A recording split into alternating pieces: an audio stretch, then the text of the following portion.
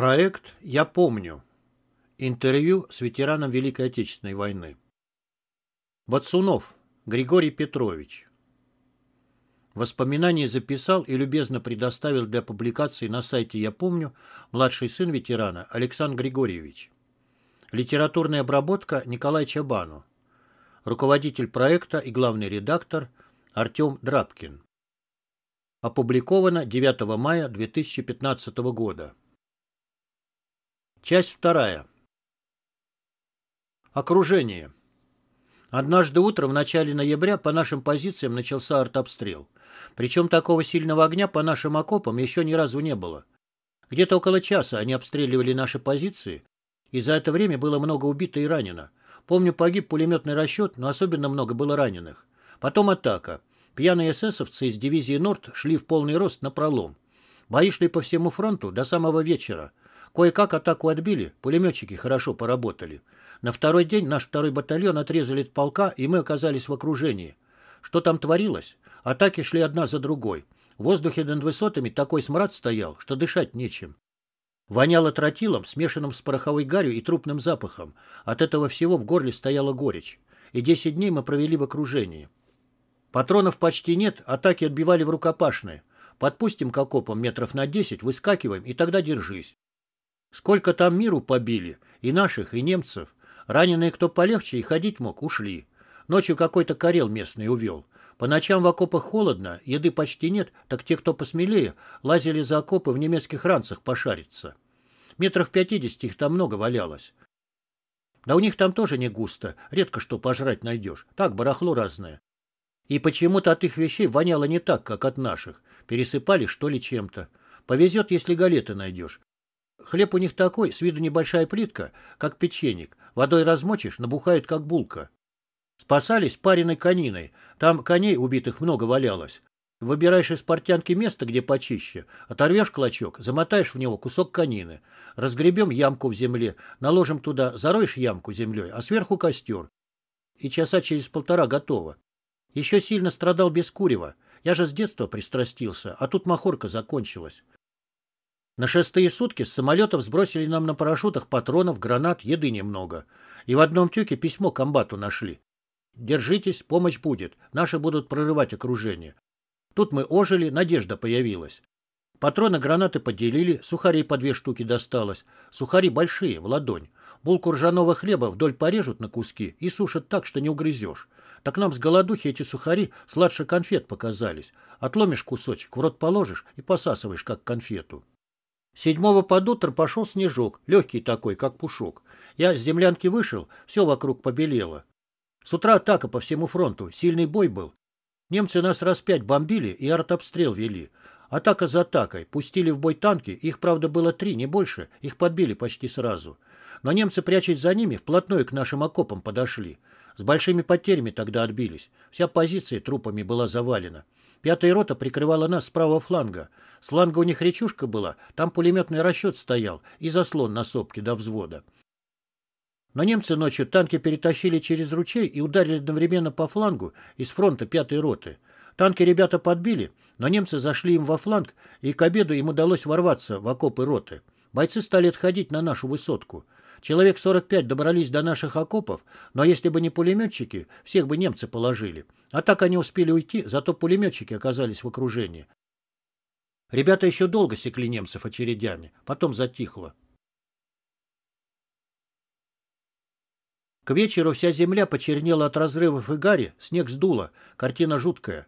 Все подходы к высотам завалены убитыми немцами, чадили два подбитых танка у оставленных позиций пятой роты. Еще один танк подбили метров за 200 от нас ребята из нашей первой роты. Он до окопов не дошел, метров 30, там его и укокошили гранатами.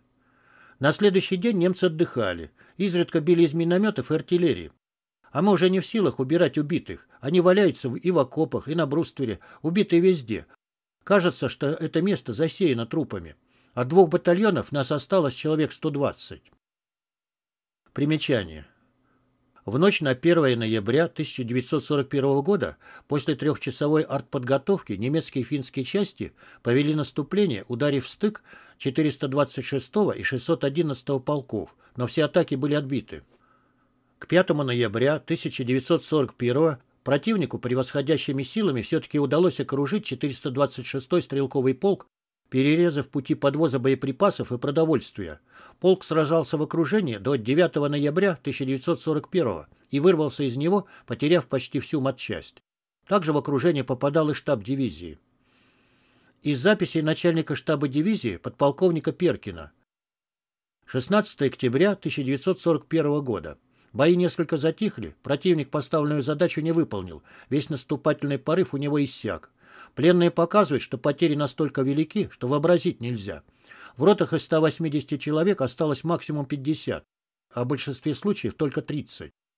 К концу ноября 1941 года в дивизии от 17 тысяч человек личного состава осталось в строю не более 3 тысяч. Обескровленную дивизию вывели на переформирование. 9 числа немцы после артобстрела снова пошли в атаку, но было уже заметно, что и немцы выдыхаются. Две атаки за день, да и то не напористые, реденькими цепочками. А утром 10 ноября меня ранило осколком снаряда в правую руку. Я лежал и стрелял из винтовки, снаряд разорвался где-то сбоку, и меня словно обожгло чем-то выше локтя. Боли сразу не было, потом уже сильно зажгло. Гляжу, из рукава фуфайки кровь потекла. Фуфайку снял, смотрю, осколок пробил руку и засел глубоко. Кровь хлещет, рука сразу обвисла. Снял гимнастерку, ногой наступил на рукав, оторвал его, одной рукой кое-как вывернул. Внутри почище было и на рану намотал. Телогрейку одел в одну руку, с ремня под сумки выкинул, патронов там все равно не было. Ремень на шею надел, руку вставил на перевес. Сержант какой-то подошел, мы уже там все перемешались, кто с какого батальона, роты, никто не знал и не спрашивал. Иди к раненым в блиндаж. Беру винтовку и пошел. Траншея уже почти все обвалилась, жерди поперек валяются, много убитых, приваленных землей. Только рука или нога торчит снаружи. Добрался кое-как до блиндажа, он тоже почти весь разрушенный, лишь стоны из-под земли доносятся. Перед входом была площадка отрыта, так она вся доверху умершими завалена. Ни санитаров, никого не было. Заглянул в блиндаж, а там битком набито и стоны, стоны, стоны. Я с края у стенки присел, пригляделся, кто-то со стоном спрашивает. «Браток, как там?» Наших не видно, не прорываются на помощь. Да бьет где-то артиллерия, бои кругом идут. Может, это пробиваются к нам. Скорей бы уже, а то мочи нет совсем. Санитары куда-то делись, мертвых не убирают. А у меня повязка вся кровью набухла. Кровь по телогрейке на колени капает, в голове гудит. На входе сумка валялась брезентовой с красным крестом. Я пошарил в ней, бинтов не оказалось, только кусачки какие-то, шприц и стекляшки от ампул раздавленные. А метров десяти от блиндажа от вилка траншеи шла к западному склону высотки, и когда я шел в блиндаж, прямо на этой развилке заметил убитого. Убитых там много валялось, но на этого я обратил внимание потому, что он был обут в ботинки. Не новые. Каблук был стоптанный, видать, не новобранец. Срочник, наверное, потому что наши все в сапоги обуты. Дня два как убитый, землей засыпанный, но видно, что ему осколком ползатылка снесло. Я еще подумал, вот и дождалась мамка сына. Вспомнил, как моя мать плакала и обнимала меня, когда я с Финской домой вернулся. Подошел, ботинок с него снял, шнурок сыромятный вынул, сунул в карман. Посмотрел, а он, оказывается, без портянки был, нога синяя. Я ему назад ботинок на ногу надел. Присел, повязку размотал, выкинул, она вся как тряпка, мокрая от крови. Рука распухла, кровь идет, видать, глубоко залез осколок. Второй рукав оторвал от гимнастерки, сватника ваты надергал, в середину напихал, с краю шнурок вставил в дырки от пуговиц, перевязал туго и сверху шнурком затянул, чтобы не разматывалось. Тут, помню, к стенке прислонился, кровь вроде перестала бежать, но от потери крови и от усталости поклонила в сон, и я задремал. К вечеру подошел комбат Строкин. Наш, с Сибири, вместе в одном эшелоне приехали. От копоти весь черный, худой, телогрейка на нем вся в клочьях, и говорит, получен приказ прорываться из окружения. У кого еще есть силы, попытайтесь, как стемнеет, небольшими группами прорваться к позициям 611-го полка. Может, и проскочите. Немцев там почти не осталось, всех перебили. Тяжело раненые, неходячие, спрашивают, а как же мы? Комбат отвечает, мы останемся с вами и будем ждать помощи. Приказ касается только легко раненых. Примечание. Строкин Александр Афанасьевич, 1910 года рождения, прошел всю войну и остался жив. Был четыре раза ранен и награжден двумя орденами Отечественной войны и Красной Звезды. В одном из наградных листов говорится «В боях против немецких захватчиков участвует с 10 августа 1941 года. 28 августа 41 в должности помначштаба 426-го полка с отрядом трехротного состава сбил боевое охранение финнов и занял второй рубеж их обороны, где в течение суток беспрерывно отражал контратаки противника. Когда наши части прорвали оборону немцев и фашисты стали отступать, организовал их преследование, в результате чего были захвачены трофеи – 16 орудий разных калибров и до 50 пулеметов. Истреблено свыше 200 немецких солдат и офицеров, захвачено в плен 7 человек, в том числе один капитан, командир батальона дивизии СС «Норд». В октябре 1941 года, командуя вторым батальоном 426-го полка, с группой из 15 человек прошел в тыл немецкой обороны на глубину до 30 километров и в районе деревни Окунева-Губа внезапным налетом уничтожил до 30 фашистов и без потерь с двумя пленными возвратился в полк. Как стемнело, нас человек семь собралось и поползли в сторону ручья. За ним через полкилометра лесок начинался. Я с собой винтовку взял, хоть там и патронов три штуки, но бросать не стал. От наших позиций до ручья метров семьсот, не больше, днем десять минут ходьбы. Так мы этот участок всю ночь ползли. С нами раненый в ногу полз, боец нашей роты со смешной фамилией, я ее запомнил, Якуночкин. Так он метр проползет и начинает потихоньку стонать от боли. Ему пуля на вылет икру ниже колена пробила. Немцы то и дело ракету пускают, мы затихнем. В воронку заползем, отдохнем, сил нет, все тащали от голода, и снова потихоньку в сторону ручья. Немцы ракету пустят, немного постреляют. Как перестанут стрелять, мы прислушаемся, ползем дальше. А там вся земля разрывами исковерканная, воронка на воронке. Убитые на каждом метре валяются, в иных местах целыми кучами. К середину ночи доползли к подбитому немецкому танку. Он метров четыреста от ручья стоял. Наши артиллеристы его на второй день окружения подбили. Рассвело, а мы как раз у ручья. Вдруг слышим, говорит кто-то. Глянули, а это пять немцев вдоль ручья идут с баками за спиной. За водой ходили. Мы залегли, не шевелимся. Это нас и спасло. Немцы подумали, убитые лежат. Там у воды их много валялось. Не доходя до нас метров триста, немцы повернули и пошли в сторону высот. Мы через ручей перебрались. Он не глубокий, по пояс не больше, но вода холодная, пришлось помогать друг другу. И по кустам уже пошли в полный рост. Никто нас не заметил, не обстреливал. Добрались до леса и только там сели передохнуть. Но мы же мокрые и долго не посидишь. Двинулись потихоньку дальше. Ближе к обеду солнце пригрело, обсохли немного. Но целый день проблудили по лесу. Идем шаг вперед, два назад. Болото кругом, да еще этот раненый в ногу. Костыль ему из сучка сделали, но он сто шагов пройдет и падает, стонет от боли.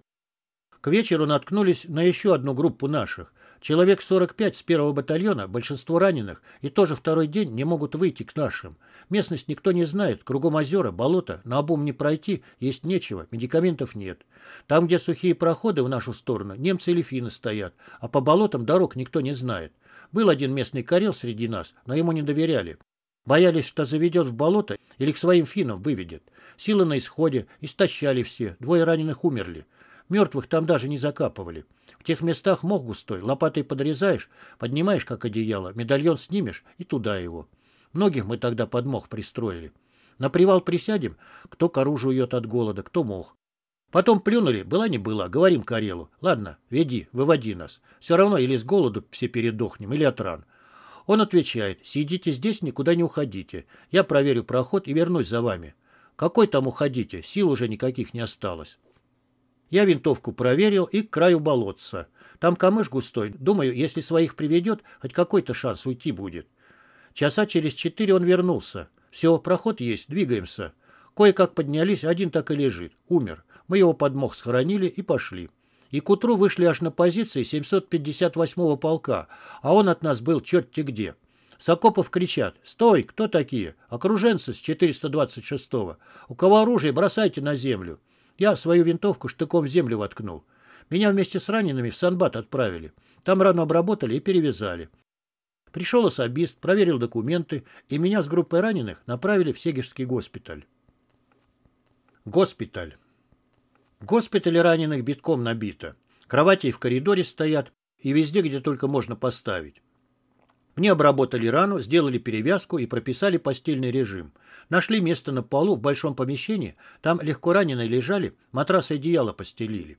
Вот там я отоспался за все три месяца. Лечить, правда, не лечили, там не до таких, как я было. Тяжелых битком, а медперсонала раз-два и обчелся. Доктор через три дня повязку снял. Хм, да на тебе как на собаке заживает. Рана затягивается, черви на ране. Это хорошо. Гляди, как облизали. Червей палочкой с раны сковырнул. На перевязку. Через три недели я оттуда выпросился. Рану затянула пленкой синей. Рука болела еще, но терпимо. Госпиталь одели нас кое-как, ватник дали. Кто-то на голову буденовку. И с группой выздоравливающих отвезли обратно в Лоухи. Разведрота.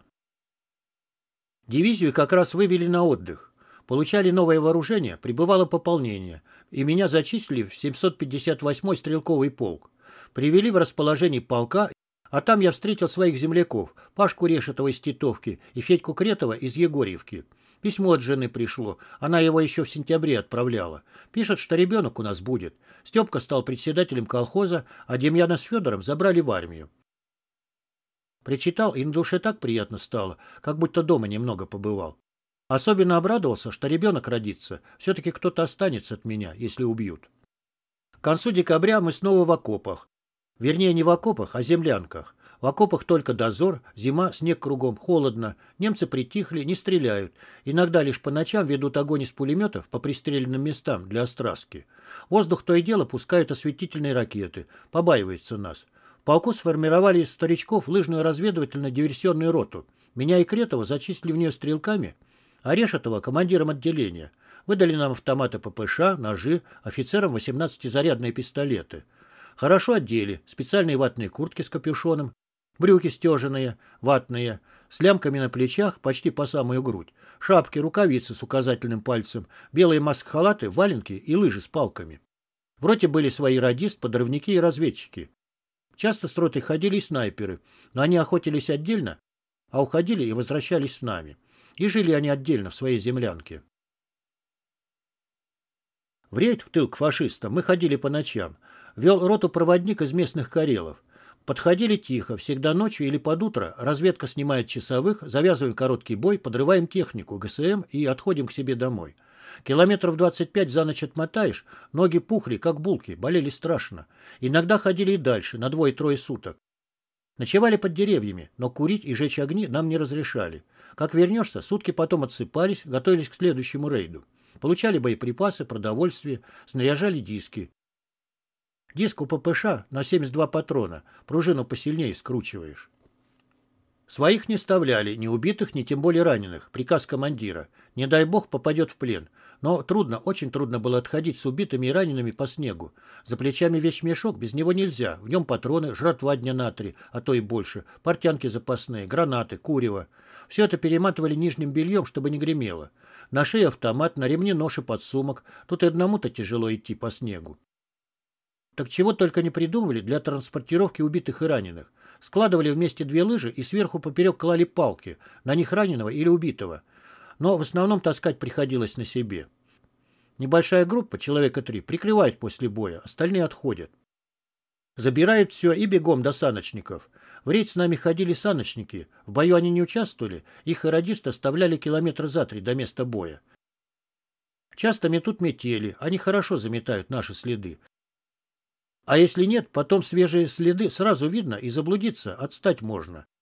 Недели полторы заметны, а потом кругом уже все лыжами исчерчено. В лесу немцы не так опасны, как финны. Они часто уходят от боя, если видят большую группу. В основном перехватывают отставших одиночек или группу прикрытия с целью узнать наш маршрут. Бывало, встречали на нейтралке немецкую разведку. Метров 150-200 друг от друга. Мы не стреляли, и они не стреляют. Помашем друг друга автоматами и разойдемся. Не наша это работа, пусть ими другие занимаются. Вот с финнами совсем другой разговор. Те намного опаснее. Прекрасно ориентируются на местности, знают почти все наши проходы и устраивают там небольшие засады. Укокошат человек пять и уходят. Охотятся, как твари на нас. Ходить на лыжах они большие мастера и, главное, очень злобные. Как-то двое нас отстали в пургу, попали им в плен. Так они их, как кабанов, разделали и для устрашения на деревьях по нашему маршруту развесили. Две мины подложили, но ребята разминировали, сняли их, с собой унесли и похоронили потом. Когда назад приходим, такая радость и усталость. Федор Кретов притащил себе и мне полушубки, белые, теплые. Как вернемся с рейда, куртки, стеженки, маск-халаты сразу сушить развесим, в полушубок завернешься, тепло, сразу в сон клонит. Кормили хорошо, фронтовые 100 граммов каждый день. Одиночный бой с группой немецкой разведки. В конце января пошли в очередной рейд. Ночью завязали бой и назад. Но роту уже до того измотали, что мы на ходу спали. Я шел замыкающим. Медленно двигал уставшими, опухшими от постоянных ночных рейдов ногами. Навалившаяся дремота склеила веки и погрузила в сон. Очнулся лишь, когда лыжи стали проваливаться в глубокий снег. Первое, что пришло в голову, сбился с лыжни. Огляделся, а вокруг никого. Группа ушла вперед. Встал на лыжню, прибавил ходу, кинулся догонять своих. Вижу, за кустами мелькнули белые халаты, обрадовался, догнал. Но что-то не так. Почему идут навстречу мне? Остановился, пригляделся. Немцы. Быстро спрятался за сосну, присел, снял с плеча автомат, залег. Немцы, их было девять человек, видимо, рейдовая поисковая группа, шли лыжней, возвращаясь домой. Я надеялся, может, не заметили, но они, сволочи, и заметили, и поняли, что я один, и стали рассыпаться. Главное, не дать им окружить себя, мелькнуло в голове. Прицелился, дал короткую очередь, один ткнулся носом в снег. Готов. Смотрю, залегли гады. Расползаются, значит, будут пытаться взять живым. Но как раз перед этим они наших двух ребят на куски порезали.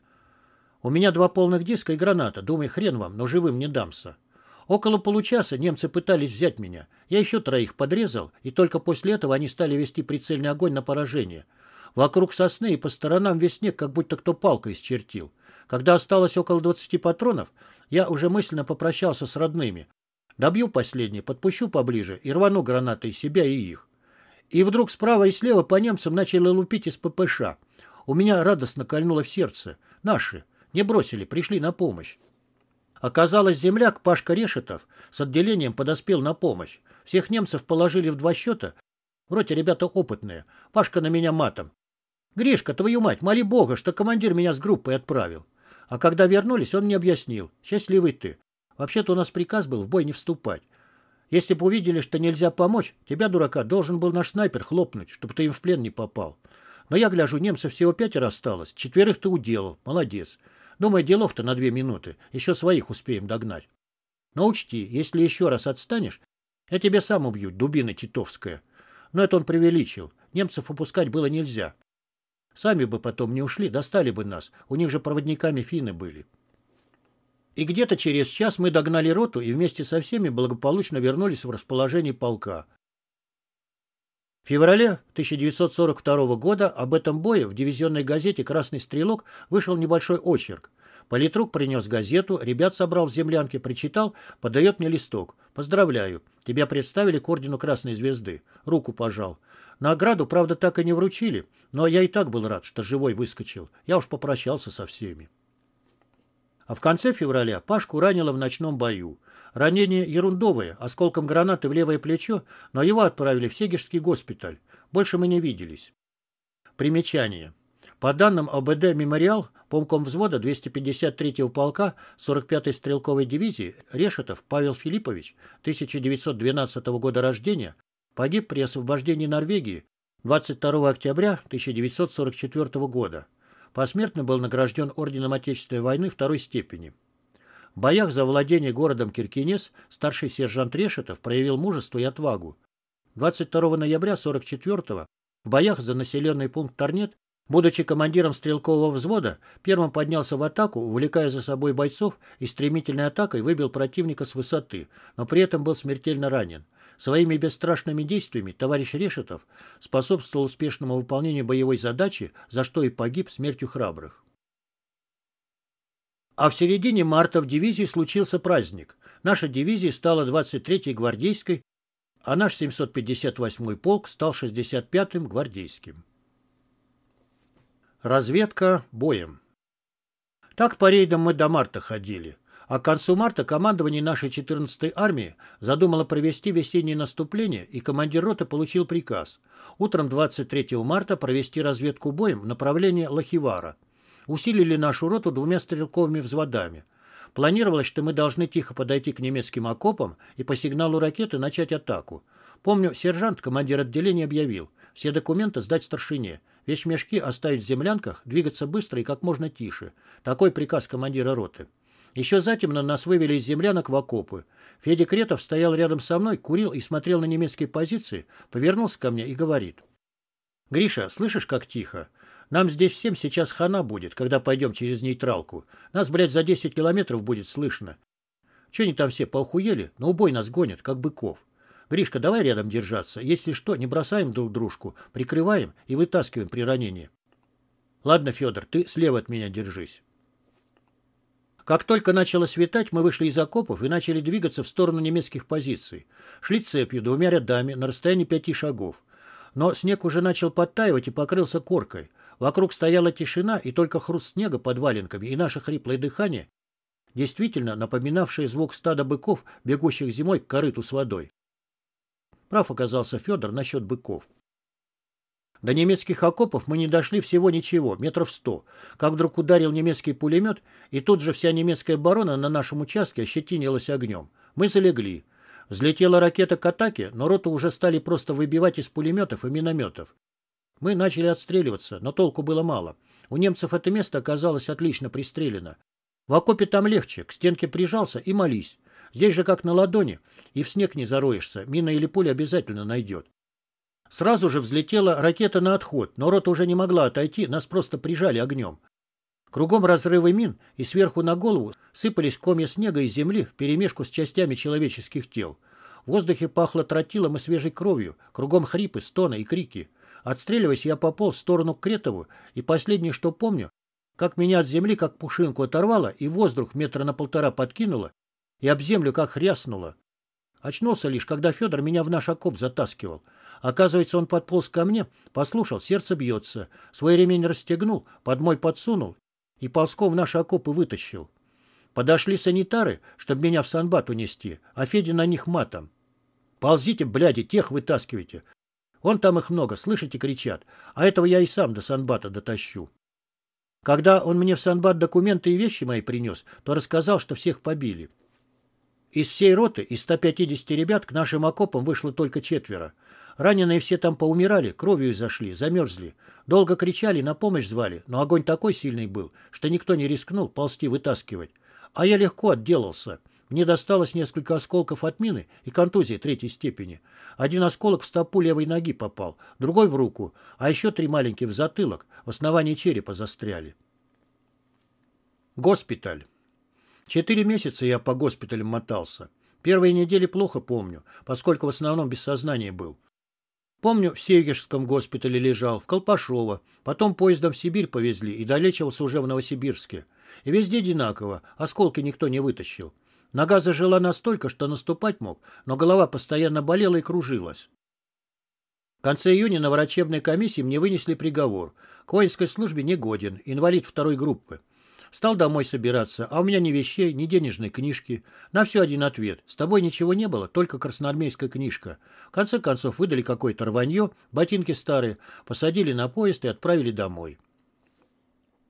Возвращение с фронта. Вернулся домой, а там вообще голод. Ни спичек, ни бумаги, ни соли. В деревне одни бабы, ребятишки и старики. Всех на фронт вымели, подчистую. Съездил в районную больницу, а там никого. Всех медиков на фронт мобилизовали. Постоял, потоптался, а санитарка мне и говорит. Езжай домой. Какое тебе тут лечение? Отлеживайся. Если совсем плохо станет, в Рубцовку езжай. А здесь врачей нет. Первое время к работе меня не привлекали. Но потом в уборочную пришел бригадир Мишка Драгунов и попросил поработать на конях. Я сразу согласился. Все-таки при деле, да и на людях. Но голова продолжала болеть, особенно когда погода менялась. В иные моменты хоть на стенку лезь. И сознание вышибало на раз. Только через год чуть получше стало. Но я тогда большую глупость сделал. Курить тянуло страшно. Табаку полно, слава богу, сами выращивали, а вот спичек и бумаги нет. Я подумал, зачем мне эти бумаги с госпиталя? Больницы нет, я работаю, и скурил их. А в октябре 43-го меня еще раз призвали в армию. Собрали в Егорьевском военкомате человек 40, одни пацаны и нас пятеро подранков. Ребятишки молодые, кому еще не было 18, приписали себе года. Тогда ведь как было? Пришла в военкомат заявка на 50 человек, и ты должен призвать 50. Не хватит, сам пойдешь. Вот военкоматовские собирали всех подряд. В Егорьевке медкомиссии не было, а в Рубцовке только поверхностно осмотрели и отправили до Барнаула. Там на сборном пункте уже настоящая медкомиссия пошла. Меня сразу же забраковали и на рентген, а далее со снимком главному врачу. Доктор снимок посмотрел, книжку мою красноармейскую и спрашивает. почему ты не оформил инвалидность? Где документы, которые в госпитале дали? Скурил. Он засмеялся так беззлобно и говорит. Лучше бы свои мозги скурил. Похоже, тебе их хорошо тряхнуло. Теперь так и будешь мыкаться. Сидел бы сейчас на инвалидности дома, никто бы тебя не дергал. Не годен ты по состоянию здоровья. Езжай домой. А в апреле 1944 года меня опять призвали. Тут барнаульский главврач уже благим матом орал. Да что они там, бляди, ваши Егорьевки, вообще отупели. У меня больше дел нет, как с их инвалидами разбираться. Я же написал в красноармейской книжке, что не годен по состоянию инвалидности второй группы. Взял он красный карандаш и приписал в особых отметках «негоден к службе, черепно-мозговая травма в результате осколочных ранений и контузий третьей степени». Вот после этого меня вообще никто никуда не вызывал. Списали. Но много, думаете, мужиков из деревни в то время инвалидность пооформляли? Кто побывал в этом аду, и так был рад, что жив остался, хоть и искалечили. После войны можно было оформить, но красноармейскую книжку мне заменили в Егорьевском военкомате. Она вся у меня истрепанная и списанная была. А в военный билет записи из госпиталя и барнаульской комиссии не перенесли. Написал в Ленинград, но там копии не нашли. На этом все и закончилось. В 1964 году нас передали Рубцовскому военкомату, где мне выдали новый военный билет. Там вообще все запутали и писали с потолка, наверное. До 60 лет я работал. Поначалу в сельпо, на парной бричке ездил за водкой в Змеиногорск. Три дня туда, три назад. Сдам на склад, один день дома и снова в путь. Летом ночевал в поле. Травы накошу коням и себе на постель. Тишина, так хорошо спалось мне. Потом, когда уже здоровье подправилось, перешел в колхоз, где отработал 32 года. Когда вышел на пенсию, наградили медалью «Ветеран труда». Первые и последующие послевоенные годы. Нас Бацуновых пятеро воевало. Демьян всю войну прошел в первом дивизионе 103-й гаубичной артиллерийской бригады. Воевал тракторным механиком. Гвардии младший сержант награжден орденом Красной Звезды и тремя медалями, одна из них за боевые заслуги. Андрей, сын его, погиб в Белоруссии в ноябре 43-го. После училища даже месяца не провоевал, парнишкой был совсем. Примечание. По данным АБД «Мемориал», командир отделения 711-го стрелкового полка 215-й стрелковой дивизии, младший сержант Бацунов Андрей Демьянович, 1925 года рождения, погиб в бою 28 ноября 1943 года и похоронен в братской могиле в деревне Петрики Дубровенского района Витебской области. Брат Степан воевал помощником командира взвода 1087-го стрелкового полка и пропал без вести в сентябре 1943 года. У меня довоенная фотография осталась, на которой он с младшим братом жены, Павлом Чуйко. Павел в войну стал офицером-артиллеристом, достойно воевал, был награжден тремя орденами Красной Звезды. На фотографии. Брат Степан с Шурином, Павлом Чуйко. 1938 год. А Федор воевал помощником командира технического взвода 177-й танковой бригады и в марте 43-го под Харьковом попал в плен. Фронтовики, которые на передовой побывали, не станут осуждать тех, кто в плен угодил или без вести пропал. Там всякое могло быть. В мае 45-го Федора наши освободили в Австрии, но через 4 года его осудили на 10 лет поселения. Тут ударило и по нам. Тогда только трубили, что родственники не в ответе за родню. Демьян-то похитрее был. К тому же партийный, его и не трогали. Зато меня по отделам прямо затаскали, допрашивали. Жена Федора, Марфа, одна осталась. Я как мог помогал ей с ребятишками. Да еще у Степана трое детей осталось. Дровишек на зиму, сено, солому для коровы возил. Кто им еще привезет? Народ же у нас, сами знаете, разный. Доносили друг на друга, слухи распускали по деревне, что я с фронта сбежал.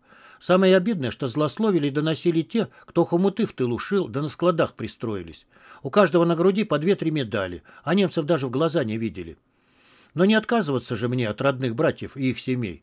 Помню, жена родила, и я за конем пошел, чтобы до дома с ребенком довести. Так бригадир, сволочь, коня не дал. Врагам народа, предателям и их пособников коней не даем. Пришлось пять километров по снегу пешком с детем и женой идти. Метель была, снял я шубейку с себя, завернул сына и почти бегом под ветер домой. Ничего, вырос сын, Сашкой назвали. Но многие потом прямо говорили, жди, ты следующий за братом. На фотографии. Брат Федор с женой Марфой и младшей дочерью Любой. 1973 год. После смерти Сталина стало полегче, но все равно доносили. Только арестовывали уже мало. Федора оправдали и освободили из Норильска в 1959 году. На Степана жена нашла документы. Погиб он под Карачевым. Она в Казахстан уехала, а там через местный военкомат все бумаги нашли. Ей там квартиру дали и пенсию за мужа. У меня же первый осколок из ноги вытащили только в 1969 году. Он был размером с семечку. Второй из руки достали тоже в нашей Новоегорьевской больнице в 1972 году. Он оказался крупнее, размером с двухкопеечную монету. Хирург Нагорный оперировал. В районной газете потом об этом писали. Голову же он советовал не трогать. Заросли они в кости, пусть сидят. При операции может кровоизлияние произойти и летальный исход. Потом директор Титовской средней школы Гулидов попросил эти осколки для школьного музея, и я их отдал. Награды. Первую свою награду я получил только к 20-летию Победы. Затем медали юбилейные каждый раз вручали. Перед сорокалетием Победы собрали нас, фронтовиков, в Рубцовском военкомате. Молодой полковник карточку мою учетную взял, военный билет посмотрел и говорит, «Я сам ознакомился с вашим личным делом. Кто же так вам военный билет переписал? Отвечаю ему.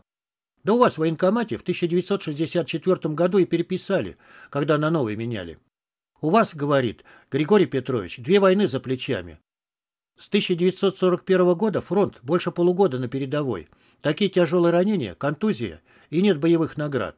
Ведь была директива в 1945 году о награждении орденом Красной Звезды тех, кто в бою получил тяжелые ранения. Странно, почему военкомат вас не представил.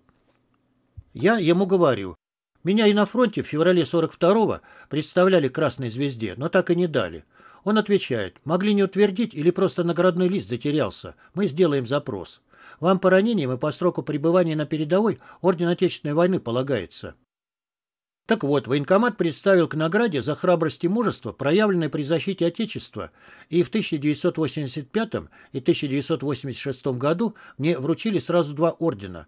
На торжественной церемонии военком сказал «Поздравляю вас, Григорий Петрович, и прошу прощения за наши ошибки. Их надо исправлять, и лучше поздно, чем никогда». Послесловие. Со своей женой Григорий Петрович вырастил восемь детей, четыре сына и четыре дочери. Наталья Сергеевна была награждена медалью «Ветеран труда» и двумя орденами «Материнская слава» второй и третьей степени. Дети нашли свою дорогу в жизни, все сыновья честно отслужили в советской армии. На сегодняшний день у Григория Петровича 17 внуков и 16 правнуков. Сам же Григорий Петрович скоропостижно скончался от кровоизлияния в мозг 23 июня 1990 года. Как сказал врач, сошел с места осколок. Воспоминания записал и любезно предоставил для публикации на сайте «Я помню» младший сын ветерана Александр Григорьевич. Литературная обработка Николай Чобану. Конец интервью. Читал Олег Лобанов.